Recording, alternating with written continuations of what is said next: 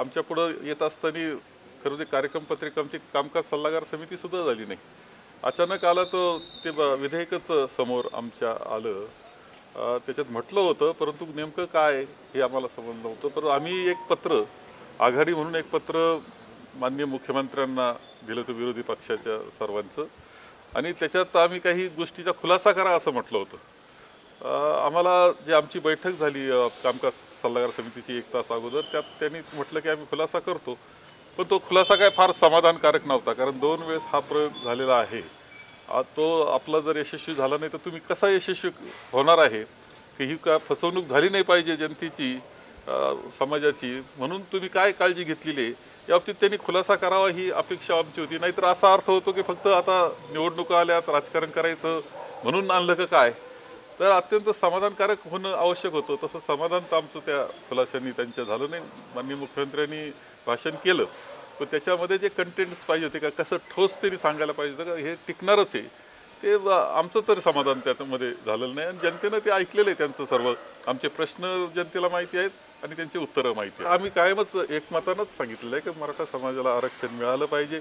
आणि इतर समाजाच्या आरक्षणाला धक्का नाही लाग न लागता मिळालं पाहिजे. हे तर कायम मागणी आमची राहिली आहे. त्या दृष्टीने प्रयत्न आम्ही केलेले आहेत. यश आम्हाला आलं नाही परंतु कुणी प्रयत्न करीत असले तरी एकत्र राहायचं आणि पाठिंबा द्यायचं हे धोरण आमच्या सगळ्यांचं असतं. नाही सतेज पाटील हे तर पुढ पुढील काळामध्ये त्यांनाच सर्व सांभाळायचं आहे ही व्यक्तिमत्व अशी आहेत की महाराष्ट्र सांभाळू शकतात देशामध्ये सुद्धा चांगलं राजकारण करू शकतात. इतक्या क्षमतेचे आहे. पुढचा काळचं त्यांचा नक्कीच आहे. आम्ही युवक नेतृत्व जे आहेत आमचे महाराष्ट्राचे त्यांनी पुढं यावं आणि काम सांभाळावं आणि पुढं जावं असंच आम्ही मानतो. त्यामध्ये सतेज पाटील हे प्रमुख आहे म्हणजे वरटीवारांचं काय? माझं नाव कोणतरी परवा दिलं होतं. नावं काय? भारतीय जनता पक्षाची ती एक नीती आहे. म्हणजे त्यांचे जी राजकारण करण्याची पद्धत आहे त्याच्यामध्ये विस्परिंग कॅम्पेन एक प्रकार असतो. खोट्या बातम्या पसरवणं ही त्यांची पद्धत आहे. त्या पद्धतीनं सगळ्यांनी सगळ्यांची नावं तिकडे ज्याच्या भागात घ्यायचे महाराष्ट्रात घ्यायचे आणि गोंधळाचं वातावरण निर्माण करायचं हे त्यांच्या कार्यपद्धतीचा तो भाग आहे. ते सरळ राजकारणी नाही आहेत सरळ राजकारण जे असतात निरोगी राजकारण ज्याला म्हणतात ते ते पूर्वीच्या काळातल्या लोकांनी पाहिलेलं आहे की तत्वाचं असतं विचाराचं असतं. हे आता तत्वविचाराच्या पलीकडे गेलेले आहेत. या सरकारमध्ये केंद्र सरकार भारतीय जनता पक्षाचं किंवा आपण राज्याचं पाहतो यांचं शेतकऱ्याच्या बाबतीत धोरण काय आहे? असं जर पाहिलं तरी आपण लक्षात घ्या आपण कोल्हापूरचे शेतकरी इकड किंवा महाराष्ट्रातला शेतकऱ्याचा विचार जरी केला नुसाच्या ऊसाच्या शेतकऱ्याचा विचार केला खरं म्हणजे चार पैसे शेतकऱ्याला मिळाले तर त्याच्या जीवनात काहीतरी आनंद निर्माण होईल. तो आणखी प्रगती चांगली करेल. साखरेचे बाजार जे आहेत ते तर राहिले नाहीच. उलट त्यांनी कमी केले. स म्हणजे त्याची निर्यात बंद केली. इथेनॉलवर बंधन आणले. त्याचा परिणाम असा झाला की साखर दीडशे रुपयानं कमी झालेली आपल्याला दिसते आहे. म्हणजे ग्राहकाचा विचार करण्यास आमची कोणतीही हरकत नाही. परंतु ग्राहकाचा विचार करत असताना ज्यानं पिकवलं कष्ट केले श्रम केले ज्यांनी घाम गाळला त्याचा विचार झाला पाहिजे. त्याच्या खिशातून काढायचं हे काय बरोबर नाही. सरकारला सरकारनं भार घेतला पाहिजे. कांद्याची निर्यात बंदी उठवली. मोठी घोषणा केली कांद्याची निर्यात बंदी उठवली. पण तुम्ही ज्यावेळेस ती निर्यात होणं आवश्यक होतं त्यावेळेस ती ती केली नाही तुम्ही. आता गरज नाही तर आता निर्यात बंदी उठवली. प्रत्येक धोरण हे शेतकऱ्याच्या विरोधात असलेलं अशा प्रकारचं भारतीय जनता पक्षाचं सरकार आहे.